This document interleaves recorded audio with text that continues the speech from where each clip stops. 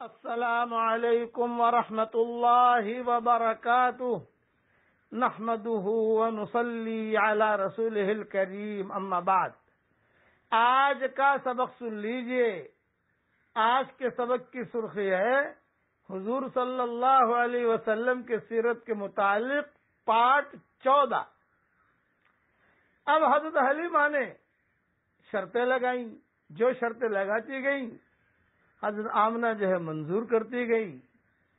ان شرطوں میں ایک شرط یہ تھی کہ ابھی بچے کو میں لے جا رہی ہوں، لیکن میرے ساتھ خود ایک بچہ ہے، کہیں کوئی کمی بیشی ہو تو تم جو ہے برا نہ ماننا۔ دوسرا یہ کہ مجھے کیا ملے گا؟ جب یہ جملہ کہا مجھے کیا ملے گا؟ تو آمنہ نے اپنا گھر دکھا دیا۔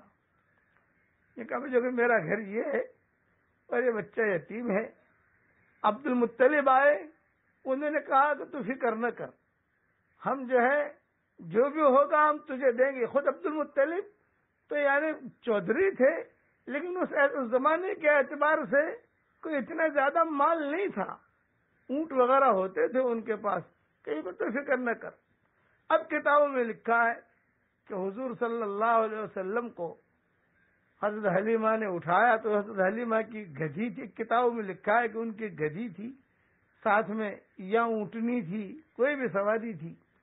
یہ حضرت حلیمہ لے کر حضور صلی اللہ علیہ وسلم کو جب اونٹنی پر بیٹھی تو حضرت آمنہ نے جب دیکھا کہ میرا بچہ اب جا رہا ہے الحمد للہ تو آمنہ بہت خوش ہوئی پہلے غمی کے آنسو تھے، اب خوشی کے آنسو ہیں کہ بچہ جا رہا ہے۔ اس زمانے کا دستور تھا کہ پہلا دودھ ماں باپ کے سامنے وہ دودھ پلانے والی پلاتی تھی تاکہ ماں باپ کو اطمینان ہو جائے کہ ہاں بچے نے دودھ پیا۔ حضرت حلیمہ اٹھنے پر بیٹھی، حضور صلی اللہ علیہ وسلم کو لیا اور حضور صلی اللہ علیہ وسلم کو اپنی چھاتی سے لگایا تاکہ دودھ پیئے۔ تو حضور صلی اللہ علیہ وسلم نے اپنا منہ موڑ لیا۔ دودھ نہیں پیا۔ اب جب دودھ نہیں پیا تو آمنا کو ٹینشن شروع ہو گیا۔ کہ ارے بچہ تو دودھ پی نہیں رہا ہے۔ بہت کوشش کی، لیکن حضور جو ہے وہ دودھ نہیں پیتے تھے۔ تو کسی نے نیچے سے کہا، جو لوگ کھڑے تھے، بھائی دوسری چھاتی دو۔ تو دوسری چھاتی دی۔ حضور صلی اللہ علیہ وسلم نے دودھ پینا شروع کر دیا۔ دنیا میں دنیا میں آتے ہی انصاف قائم کر دیا کہ ایک چھاتی میرے لیے ہے اور ایک چھاتی میرے رضائی بھائی کے لیے ہے۔ آپ نے جب دودھ پیا تو حضرت آمنا کو بہت خوشی ہوئی۔ اب حضرت حلیمہ اونٹنی پر جب بیٹھی تو کتابوں میں لکھا ہے کہ ان کی اونٹنی بہت کمزور تھی، لیکن بیٹھتے ہی اونٹنی طاقت والی بن گئی۔ اس کے تھنوں میں دودھ آ گیا۔ ان کے شوہر نے کہا، مانو نہ مانو، کوئی برکتی بچہ ہمیں ملا ہے۔ ہمارے والد صاحب رحمۃ اللہ علیہ اس مضمون میں ایک جملہ کہتے تھے کہ حضور صلی اللہ علیہ وسلم یتیم تھے، حضرت حلیمہ نے اس یتیم کو، اس یتیم کو لیا تو برکتیں ملنی شروع ہو گئیں۔ آج حضور صلی اللہ علیہ وسلم کا دین بھی یتیم ہے۔ جو بھی حضور کے یتیم دین کو اپنے گلے سے لگائے گا، اللہ تعالیٰ اس کو بھی وہی برکتیں دے گا جو اللہ نے حضرت حلیمہ کو دی تھی۔ کہ آج حضور صلی اللہ علیہ وسلم کا دین یتیم ہو چکا۔ اس وقت حضور یتیم تھے، آج دین یتیم ہے۔ اب حضرت علیمہ کے شوہر نے جلدی جلدی اس کا دودھ دویا دودھ دو کر خود بھی پیا۔ حضرت آمنہ کو بھی پلایا اور جو ہے حضرت حلیمہ کو بھی پلایا اور خوش ہو گئی کہ چلو کوئی برکتی بچہ ہمیں مل گیا ہے۔ اٹھنی طاقتور بن گئی، حضرت حلیمہ بھی طاقتور بن گئی، دودھ آ گیا۔ اب یہ قافلہ روانہ ہوا۔ جب قافلہ روانہ ہوا تو حضرت آمنہ باہر نکل کر دیکھ رہی تھی۔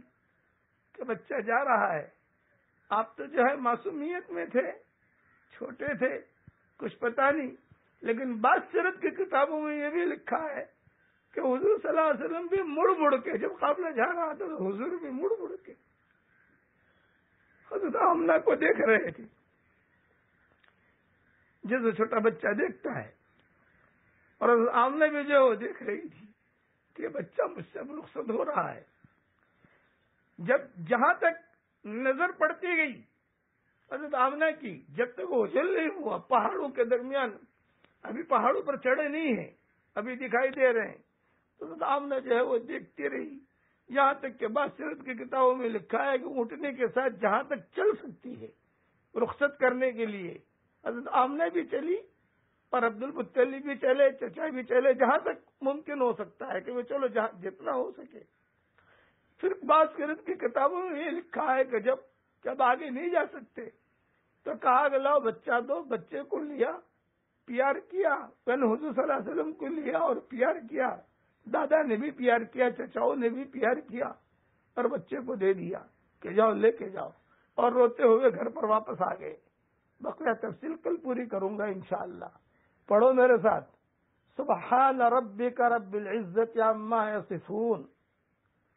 وسلام على المرسلين والحمد لله رب العالمين.